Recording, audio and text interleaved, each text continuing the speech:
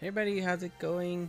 It's the second part of the Doraemon collab has been up for a while, but I've been a little busy and it was my birthday this weekend, so spent spent time off doing, you know, real life things. So um, it's a little late, but I'm sure most of you are already in progress or possibly even done with this. But uh, if you noticed on the main screen that there's a new stage, which is basically a equivalent to the sealed jades, but Nobita uh, and Suneo will be using these uh, to finally max luck them. So you'll get three different boards where um, you need to complete five lethal quests, five five star limited quests, and then 15 normal uh, event quests. And as you clear them, as you get bingos, you will be able to get uh, drops.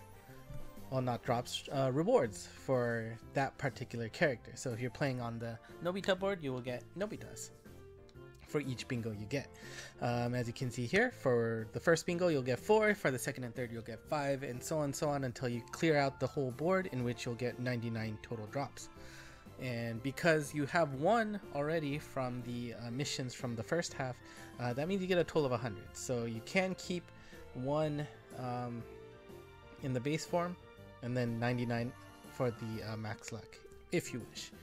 Um, the way this works is that each quest is only going to cost you 10 stamina, so at least that will save you from uh, that stamina drain. However, there is no continue, so you must finish it in uh, one shot.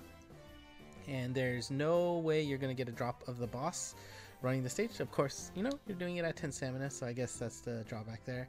Uh, the placement of the board is random for each player. However, the corners and center are always going to be the lethals, so those five will shift within there.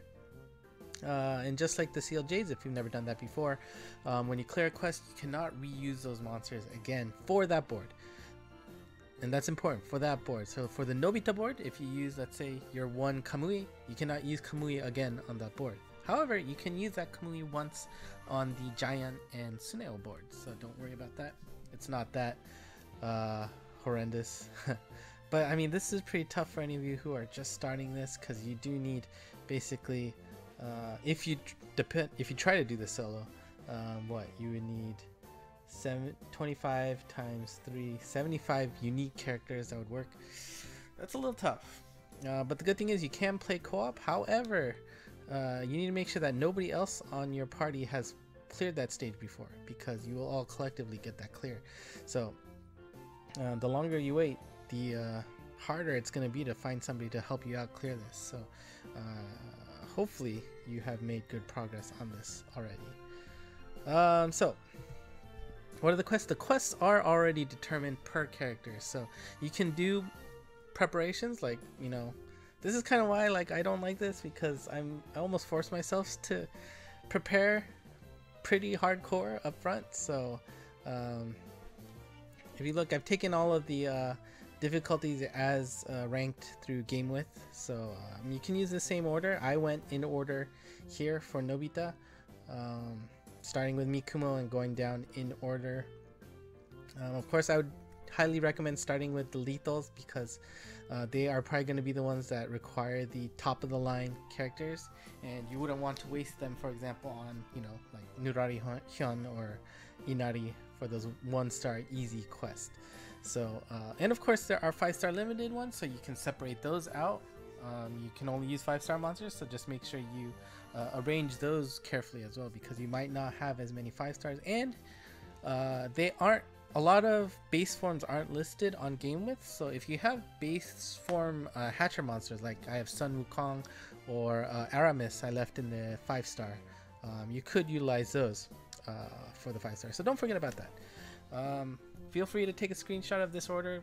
That's how I cleared it. It worked out pretty nicely for me. Uh, haven't done Giant yet, but of course, um, I will probably do the same thing here. Uh, again, in order from the GameWith, uh, difficulty length, strengths, and the key gimmicks are just the things that they had in red. There could be others in those quests, but um, I just, to keep myself sane, I just only copied over the red ones. And uh, Suneo as well. We got Tokugawa Tsunayoshi as the top difficulty one. Um, Koyuki being a little annoying. What else is there?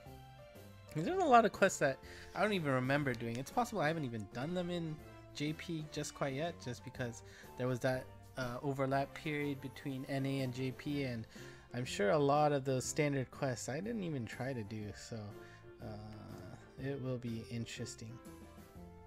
All right, so like I said, I'm actually just one away from finishing for Nobita. So um, as you can see, as you clear the quest, they light up and uh, they'll kindly tell you, just like the Jades, which monsters you use to clear certain missions. And if you try to set up your team, um, it will also tell you who you can or cannot use because you've already uh, selected them. For example, since it's a five star limited, uh, you know, I've already used Dianu on a previous one, so you can't use her. And likewise, it'll tell you all of the six star monsters you've already used. Um, and you know, just just keep in mind this. If you, I mean, if you have a big enough box, you don't have to think about it, of course. But if you start to get limited, maybe you just started, you're gonna want to be very careful about who you use when. Certain monsters are gonna, you know, make things super easy, and you're gonna want to make that super easy for the difficulty ones. So uh, I will show you how things look like once you finish. So let's uh, fast forward to the end of this quest. Alright, so that wasn't too bad. So, once you finish it, then... Come on, loading screen. There we go. Bingo! Bingo! And... Woohoo! It knows you're done, so it says Oshimai.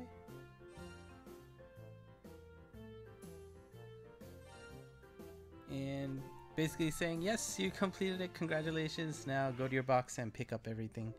So, um, just like the sealed jades, uh, you get the rewards per line, so that first line, you'll pick it up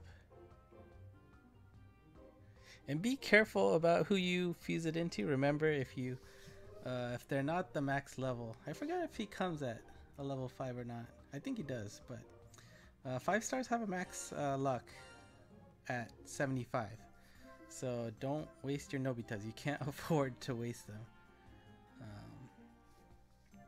Um, uh, but yeah, since this is gonna take time, I'm not gonna do that in front of you, but